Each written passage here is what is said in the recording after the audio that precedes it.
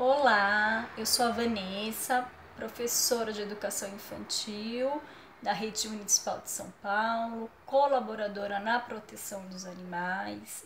Eu venho aqui expressar minha grande admiração e meu apoio ao vereador Toninho Vespoli. Ele sempre lutou por uma cidade melhor, atuando em diversas áreas, dentre elas educação, melhoria para a construção dos bairros e a pauta animal, sendo aprovado muitos PLs de sua construção.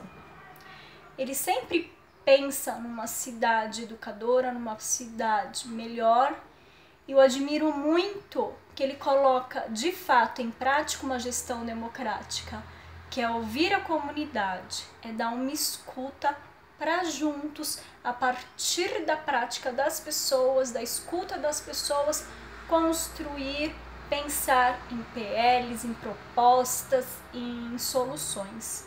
Então, acredito que esse é um grande diferencial dele, esse acolhimento e essa escuta para as pessoas, pensando realmente numa cidade melhor, numa educação de qualidade pública.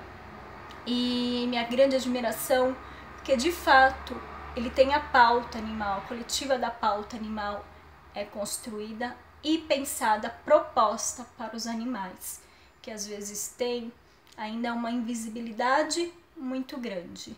Então aqui vai a minha grande admiração e apoio ao Toninho Vespoli. Gratidão.